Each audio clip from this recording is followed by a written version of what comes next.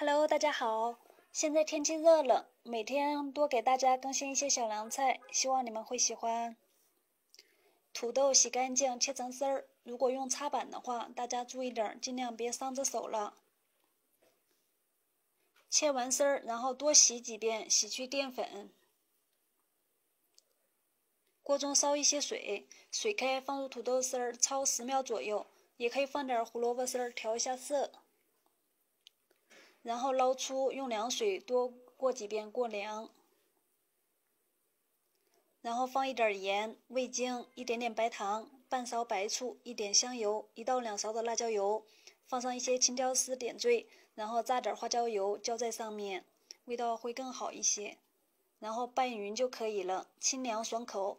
喜欢的朋友们收藏保留一下做法，谢谢大家的观看和支持，谢谢。